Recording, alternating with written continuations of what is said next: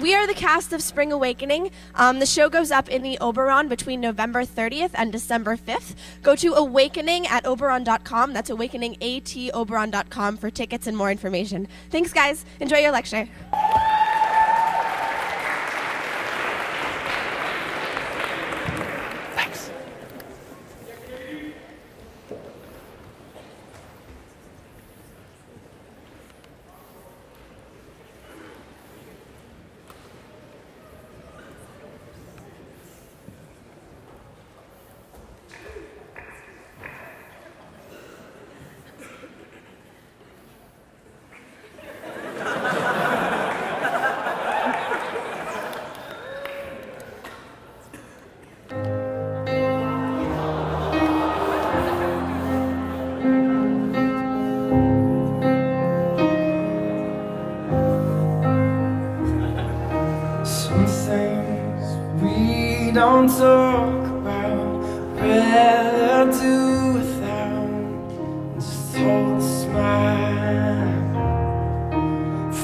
in and out of love, ashamed and proud of, together all the while. You can never say never, why we don't know.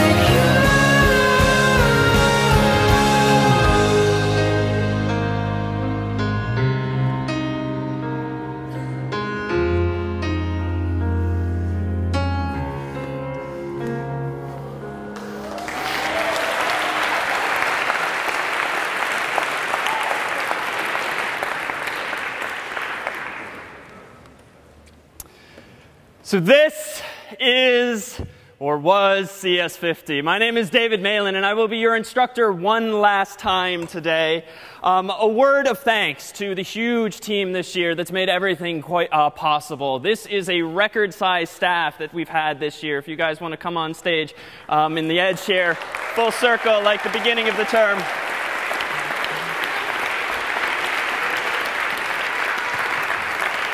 Only only a few were able to skip class for this today, but our team of TFs and CAs numbers 100 this year for the first time in history. So um, without them, we certainly could not have made this semester possible. And a huge thanks, too, to, to Barry and Kevin and Abbas and Chris and really everyone who's been working behind the scenes to make everything here possible this year. And particularly to those folks with whom you've gotten familiar on camera, Jason in sections, Tommy in walkthroughs, and my heartfelt thanks to Rob Bowden and Matt Chartier, without whom we would not have this extraordinary team. Allow us to take a look at the team that was CS50 staff 2011 here.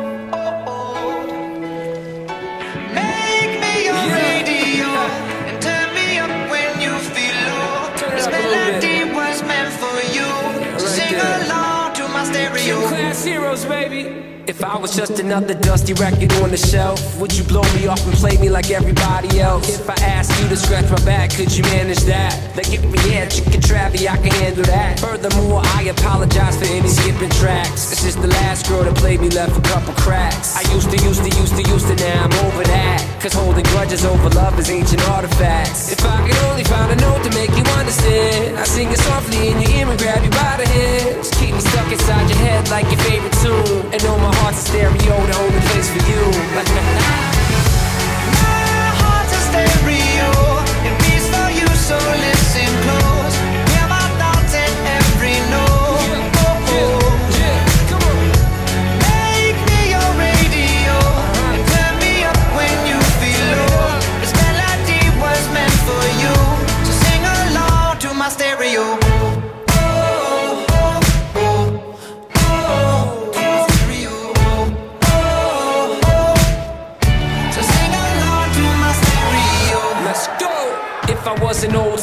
50 pound boombox, would you hold me on your shoulder wherever you walk? Would you turn my volume up in front of the cops and crank it higher every time they told you to stop? And all I ask is that you don't get mad at me when you have to purchase Mad D batteries. Appreciate every mixtape your friends make. You never know, we come and go like on the interstate. I think I finally found a note to make you understand. If you can hit it, sing along and take me by the hands. Keep me stuck inside your head like your favorite tune. You know my heart's a stereo, the only.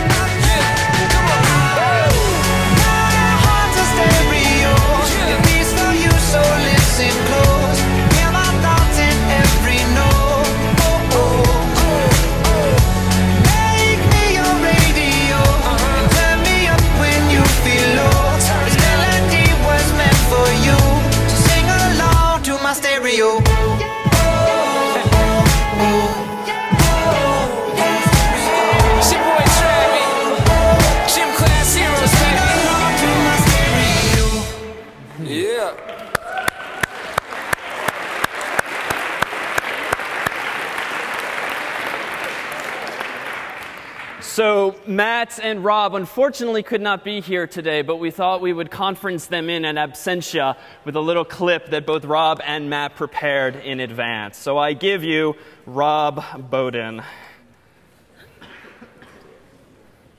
Hey guys, good work.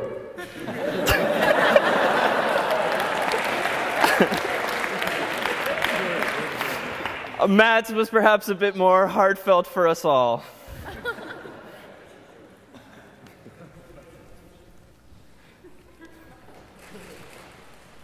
Oh, hi.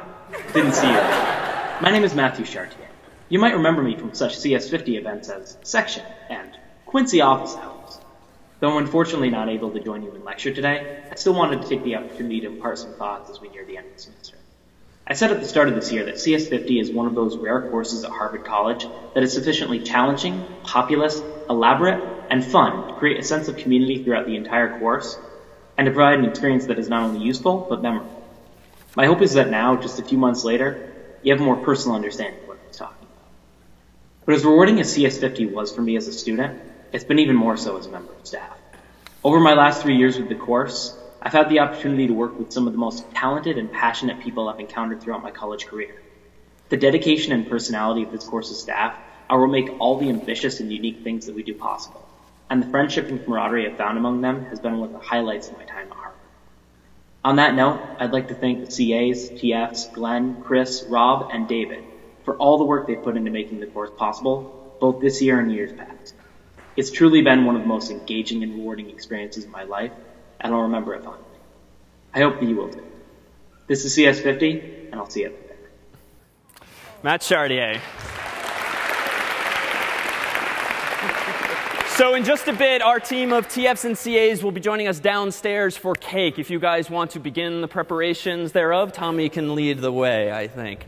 Uh, in the meantime, a couple of announcements as we dive into this wrap up today. So, as you think about where you want to go with your final projects after the CS50 fair, know that in addition to opportunities like, okay, Tommy, follow them. Um, so, in addition to opportunities like the Hack Harvard group, know too that the UC has begun to support student projects that, uh, are, that aim to improve the quality of our experience here on campus. So, these slides will be online if you'd like to read up more on this, but know that this opportunity from the UC now exists. And from SEAS as well, over January term this year, if you were interested in learning a bit about design from actual designers from a very well known company called IDEO, know that this workshop will be a hands on opportunity during winter session to do exactly that and be mentored by some experts in the field. So head to that URL if of interest. Uh, we indeed have some cakes, three cakes no less. Uh, normally each year we try to come up with very clever slogans to emblazon on these cakes, uh, despite the confusion it creates with Shaw's where we have them made. Um, this year, we simply went with cake number zero, one, and two, all of which await you downstairs. Not as funny as it was in my head. Okay. And now the retrospective. So, 13 some weeks ago, we dove into this programming language called Scratch, with which you hopefully had a lot of fun and began to explore some of the fundamentals of computer science and programming. Well, for those submissions, the teaching fellows reviewed all of them way back when and nominated, as is our tradition, a few for some fun uh, awards of sorts, whereby these projects will become immortalized in the course's gallery online. Um, the one that the staff nominated as the cutest Scratch project this year is by uh, Brett, and we will let it speak here for itself. Allow me to play this year's cutest Scratch project from 13 weeks back.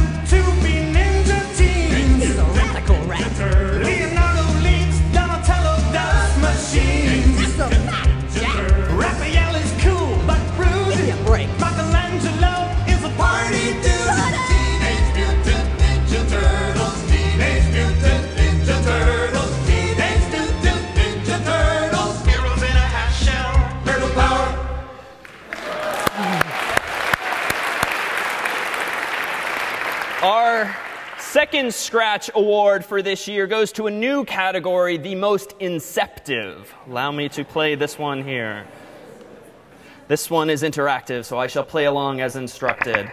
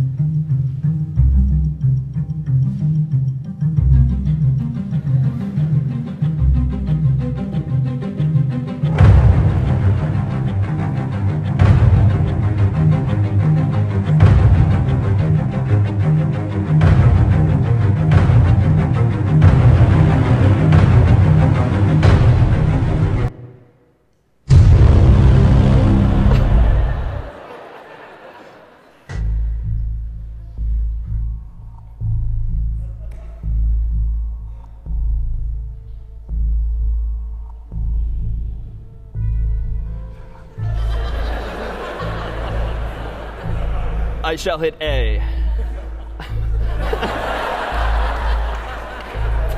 I shall hit C. I shall hit E.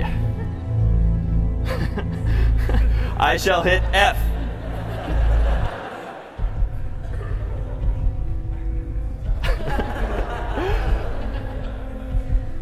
Why don't we cut it off there to leave it suspenseful? We will link this online so you can finish the story. And so finally, that was by Michael Huffman. Uh, finally, by Blake Walsh, is this year's most amazing, a recreation of a classic game.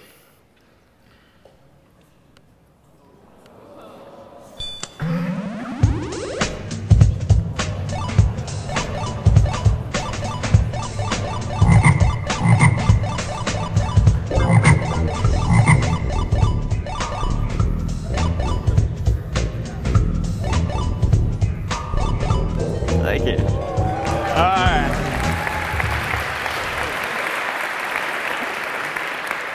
I actually practiced that this morning. All right. So we have some other awards that we typically bestow and then honor on the course's website, namely that for Problem Set 5. In addition to recovering this year's photos, recall that you were challenged to then go find those folks somewhere on campus. And if you did, we promised to bestow upon you a fabulous award. Well, we had one runner-up. This was from uh, you can guess whose section here. Brian Zhang submitted this on behalf of his section here, but they only found a few of the staff members and were definitely in the end bested by Lucas Freitas' section with Neil Wu's section. Pictured here posing quite awkwardly with two of our team members here. Um, but Lucas thought he'd be funny, and when he submitted his photographs to us, he wrote us the following note Hey, David, in anticipation of this problem set, I spent the past several days snapping photos, creeping TFs, I don't know, all of which were saved by my digital camera as JPEGs on a 4 gigabyte compact flash card. Unfortunately, I'm not very good with computers, and I somehow deleted them all. Thankfully, in the computer world, deleted tends not to mean deleted so much as forgotten. My computer insists that the CF card is now blank, and I'm pretty sure it's lying to me. I attached a copy of my memory card to this email. Hope you can create a program to recover them.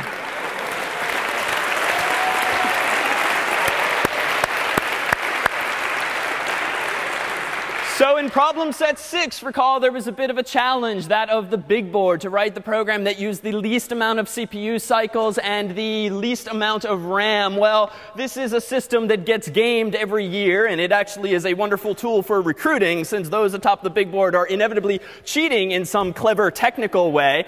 Um, so here are the top 10 from this year's big board. Um, some of these times we are pretty sure are not actually possible. In particular, you'll notice that a certain Daniel Robinson somehow has the curious number 1337 as his running time. So it turns out there are ways to cheat the system, but what uh, this will only make us better at detecting such things next year. But the top 10 is certainly a nice place to be. But we had another big board in problem set 7. This one, too, attracts a bit of cleverness every year, whereby you were challenged to invest some 10,000 virtual dollars. Curiously, my penny stock has actually been performing very well over the past several weeks, but I was significantly outdone by Kenny.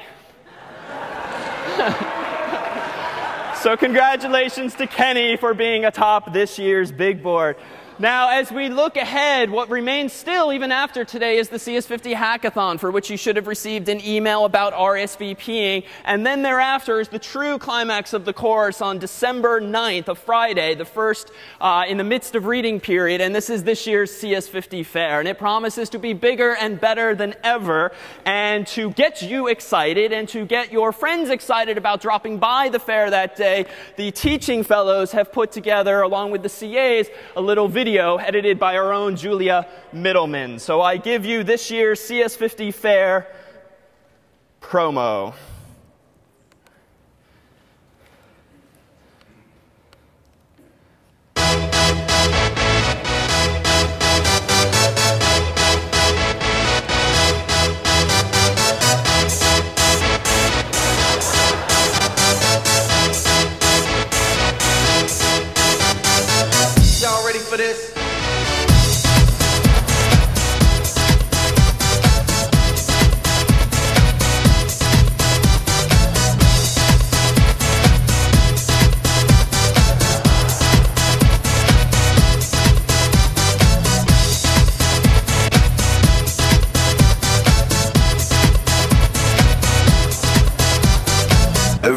I'm shuffling.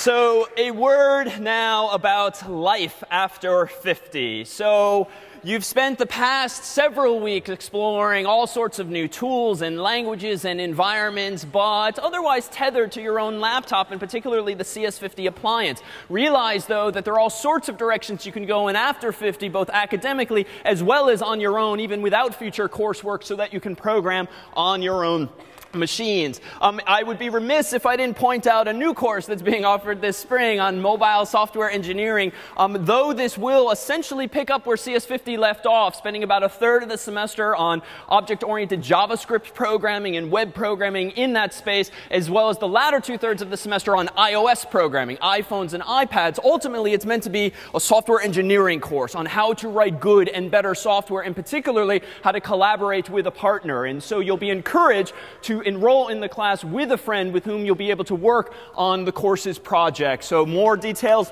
can be found at courses.cs50.net. Uh, now, as for using your own hardware and own software after CS50, it turns out that the CS50 appliance, more than just a CS 50 specific tool is actually quite generalizable. So even I and a lot of the TFs have started using our own CS50 appliance for writing code and working on projects completely unrelated to CS50 simply because it is this self-contained appliance. It's this self-contained server that can run web code, C code, Python, Perl, PHP, all sorts of languages can be installed in, if not even there already. And so it allows you then to have a nice clean sort of industry standard environment with which to program. However, with that said, if you're a Mac user, know then that you can indeed continue using the appliance in a manner similar to what you've been doing. But if you want to take things to the next level, if you're running Snow Leopard or Lion, you can download for free, um, with some exceptions. more details are in the CS50 manual, a program called Xcode from Apple which is an integrated development environment, IDE. It's sort of a much fancier version of gedit that allows you to write code, debug code,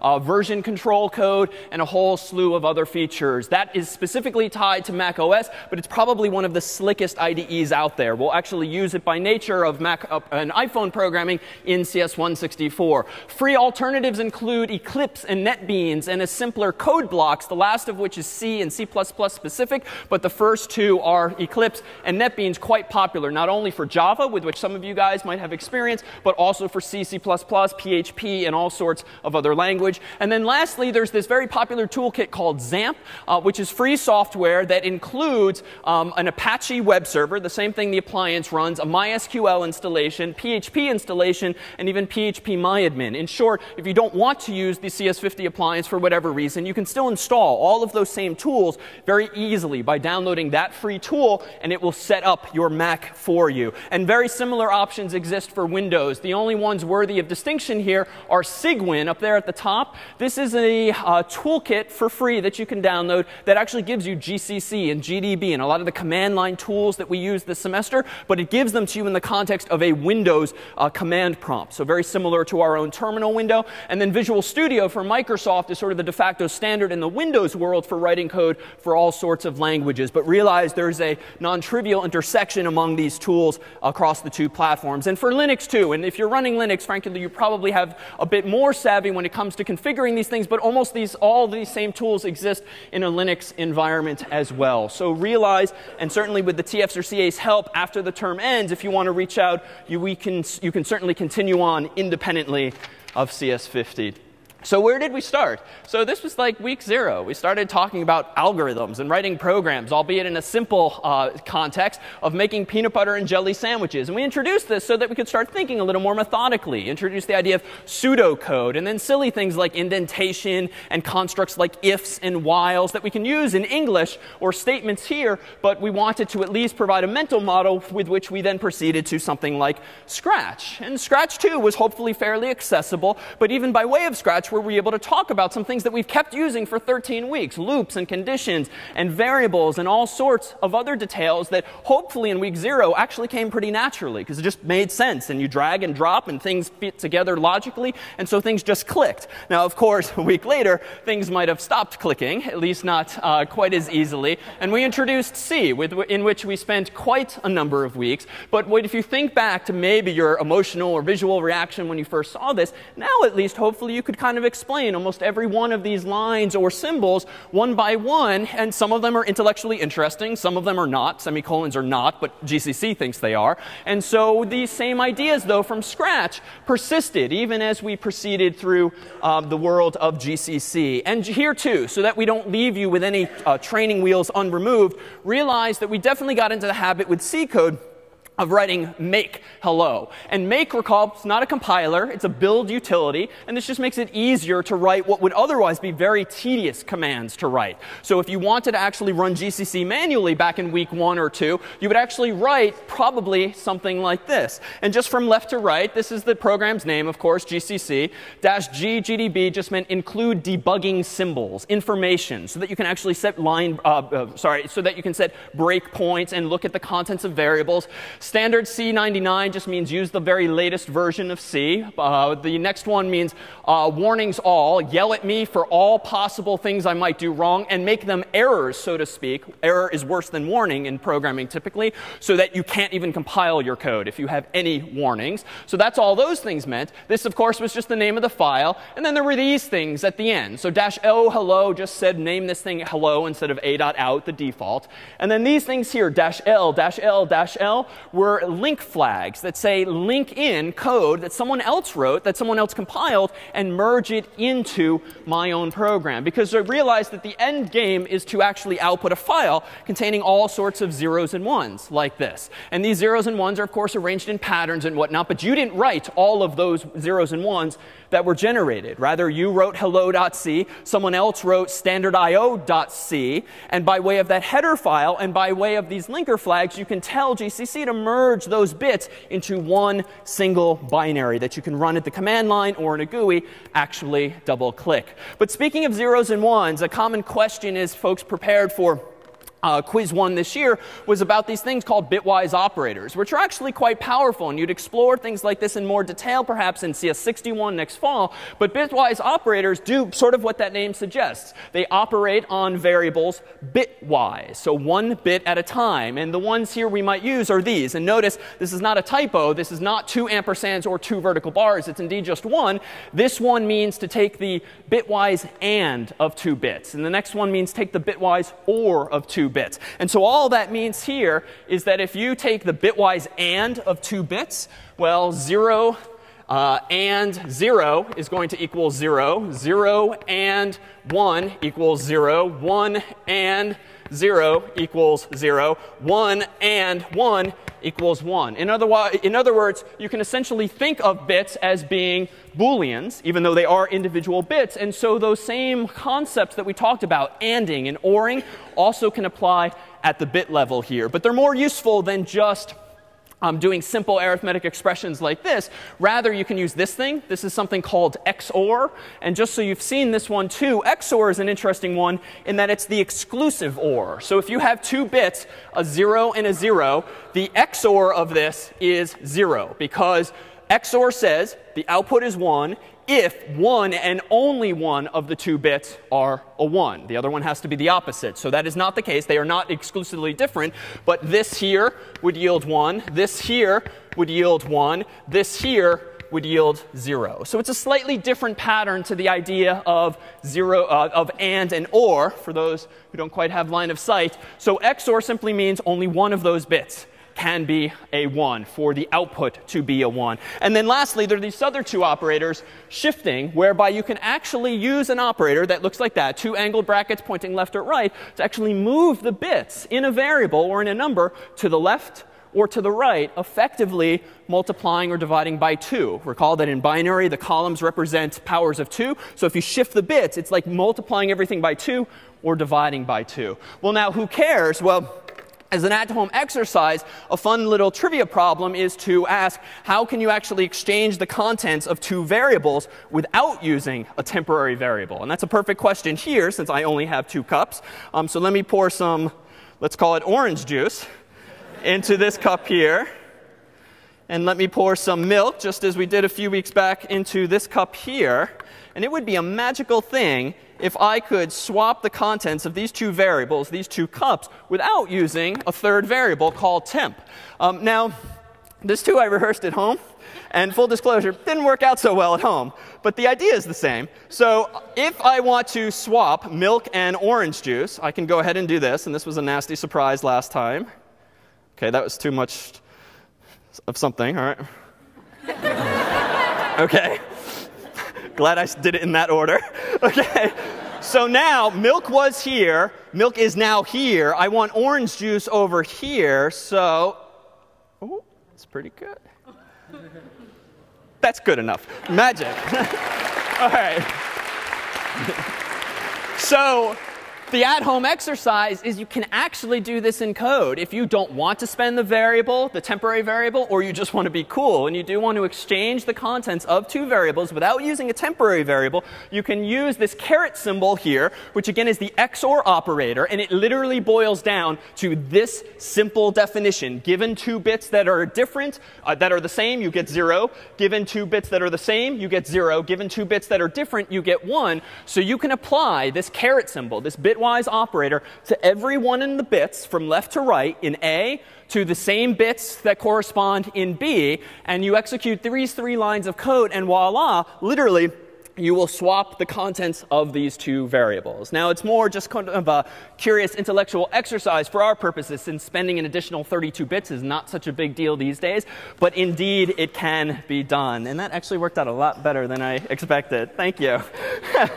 So we started with Scratch, we transitioned to C, and then we ended up towards semester's end with the very user-friendly, say, web world, in which the direction of software seems to be headed. So we looked at HTML and made the simplest of HTML5 pages. And then we transitioned very quickly to more interesting code, namely a programming language called PHP, so that you could actually generate strings and content dynamically based on users' input. And then, of course, we introduced JavaScript so that you could also control the user's experience client side. And indeed, today, JavaScript can even be used server side for very high performing applications. And so that was it. From week zero up to week 12, you went from scratch, then to this low level C language. And my God, what you will see at the CS50 fair, both by, done by you and done by your friends, um, we don't doubt will impress, as is the tradition each year. So, another tradition that we have toward the end of the semester here is to pit some students against staff in a sort of contest of wits here, sort of Jeopardy style. And so, it's at this point that we need to take a few volunteers from the staff and a few volunteers from the students to come join me up here on stage for a little battling of wits. Come on down, Carl. Who else we got? Come on here. Two, three. We've got room for three more. Who are the Shire folks? Come on. Come on. All right. Uh, let's go. Okay, here, because your friend's pointing at you. Here, here, here. All right, we'll stack the student team. Yeah, come on up. All right, and who are our staff? All right, if the staff want to take the end table there, students, if you want to line up here and form two arbitrary teams, um, we need, let's see, one staff member who could run the board. Walkthrough boy, would you mind lending a hand? This feels like your thing. So, so, we need a little scoreboard to be run here. So, in just a moment, if you want to go ahead and ask these three teams for three team names, and then we will keep track of their point values on that there blackboard. Uh, if you guys want to squeeze in, yeah, just kind of uh, kneel to the side as needed here as we get set. Because using my newfound HTML skills, I made a little something here with which we can do this. That is the extent of my HTML skills here. For, here we go, wait for it. This is Jeopardy! And now we'll go jump immediately into uh, week one. So I apparently called for too many volunteers. That's okay. Um, maybe if we could just shuffle the chairs down just a little bit, and if you guys want to nudge your way in. Um, staff name. Uh, what are we going to call the staff here on the blackboard? Team name. Team Bowden. Team Bowden. Team Bowden it is. All right. Team uh, stu- number two in the middle here. Uh, Thundercats. Thundercats will be the middle team. And you guys here on the end, you will be? Zergrush. What's that? Zergrush. Zergrush? Zergrush. Okay.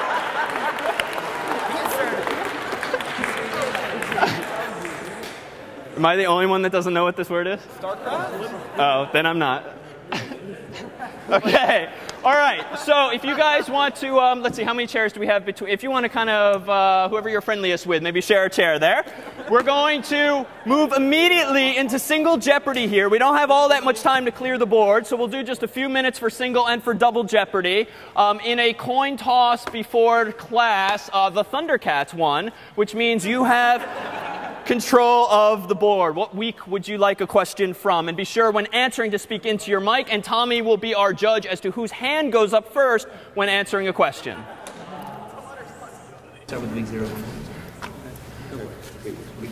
Not much strategy is required for this game. One one thousand. What's that? Week one one thousand. Week one for $1,000. And your question is, and again, the first hand to go up will be called on Tommy to answer. What is the maximum value for a variable of type int? Zergrush, I saw too. Which one of us? Any, you just pick who speaks. Uh, 2 to the 31 minus 1. So the student, oh, by the way, these are your questions that you submitted as part of problem set A. So that is correct, though the student was looking for 2,147,483,647, but I think we'll give it to them there for a thousand. Well done. You still have you still have control of the board. What would you like? Uh, let's go week 4 for 200. Week four for $200. And your question is What must you always do after mallocating? Thundercats? Free the memory. You must free the memory. That is indeed correct for $200. All right, you guys have control of the board. What category would you like? Week two, 600. Week two for $600. And your question is going to be a string is actually Oh. Thundercats. A character. Yeah, that is right. A string is actually a pointer to a character. So, again, another $600. At some point, we should do arithmetic. and you're still in control of the board. Time for a few more questions here in Single Jeopardy. Week three, 800. Week three for $800. Your question here is going to be in week three why is linear search bad? Uh, Zergrush. It's uh, order of n, which is suboptimal. It could be order of log n. That is correct. So, but speak toward the audience, not toward the Tommy. It's order of n when it could be order of log n. Excellent. Very well done. Up to $1,800. Team Bowden is ever so slightly losing. so we have time for one more question here in Single Jeopardy. What would you like? Uh, Zergrush. Let's go uh, week four for a thousand. Week four for $1,000. So Team Bowden could move into second place with this question. What is Emma's favorite kind of sort? this is Emma's question. Thundercat. Um, bubble sort. Incorrect. that is, I think, minus a thousand, though.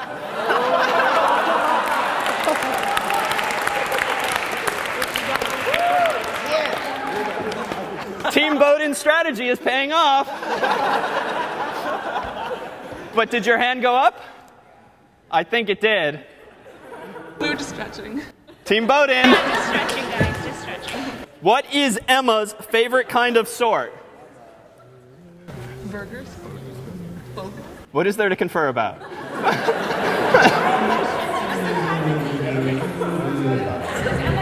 Bogo sort. Bubble sort? That's what they just said. Bogo, oh, bogo sort. No, that too is incorrect. Emma's favorite kind of sort is. Emma, are you here? Merge sort. Several people know that her favorite sort is merge sort. All right, and now we move on to double jeopardy here. So in double jeopardy, point values are, of course, doubled. Um, Team Bowden will give you the choice of categories. What would you like? Weeks five through Rand. Rand for for $2,000 in the Rand category. Name one function that it can be found in the CS50 library. Why are your hands up last? Thundercats for 2000. Uh, get string. Get string is correct. Nicely done for 2000. All right. And we have time for just a couple more questions in double jeopardy now. I don't think. Really? All right. Uh, uh, no, the Thundercats now have control of the board. What would you like? Uh, week week five for 400. Week five for $400. Week five for, you know, I did implement some features here, so we can click that. All right.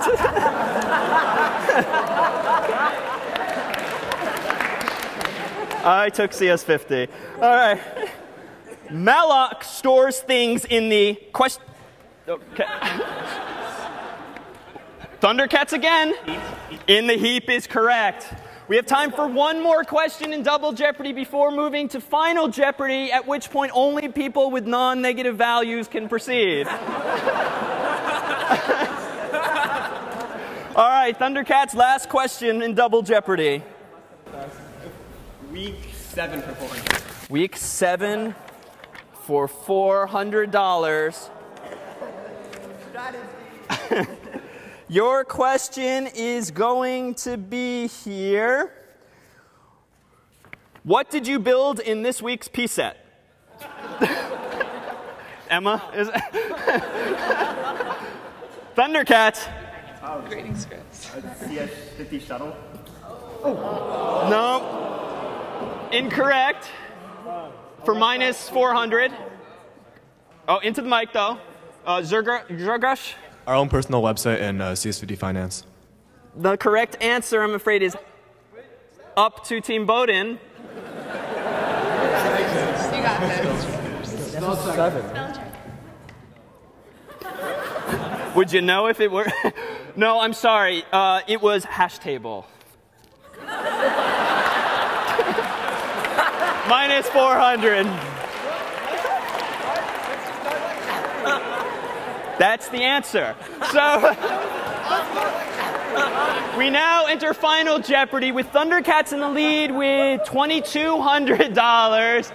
Team Bowden with a lot of love and Zergrush with 1400 so we have time for these two here to duke it out. In front of you is a piece of paper.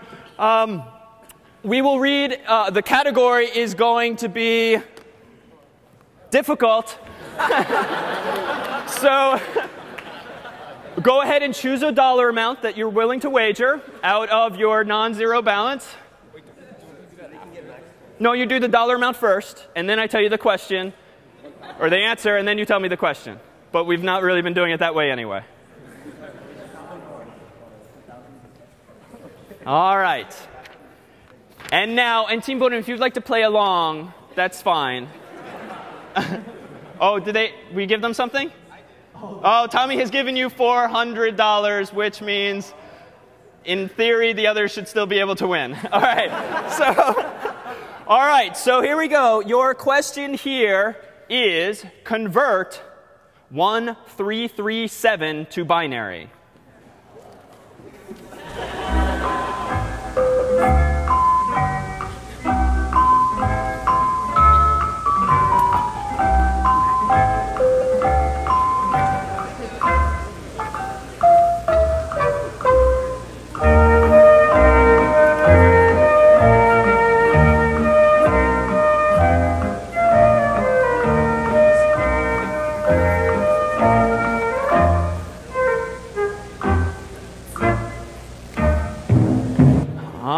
Right, gonna need your answers. Almost there. All right, Tommy, math time. I can't do. Okay, here we go. So let's see. Zergrush was in second, and you wagered all $1,400. This will be easy. So your answer was 0101 00 111 001. Anyone playing along at home? Which is correct for $1,400. Now, Thundercats, for had 2,000, you wagered 1,000 and won, which case you'd win slightly more. And so your answer was 10 100 11011, which is not right, I'm afraid. So that is a minus 1,000. And Team Bowden, if they didn't write down the answer as I read it,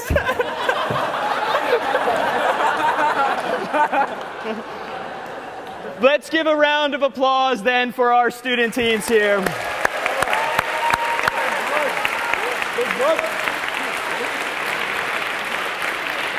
So, before we adjourn for cake downstairs in the pub with the CAs and TFs, uh, let me say it has been an honor being at the course's helm with you all and with our team of 100 this year. And we'd like to adjourn today with one final clip a look behind the scenes of CS50. If we could one last time this semester dim the lights.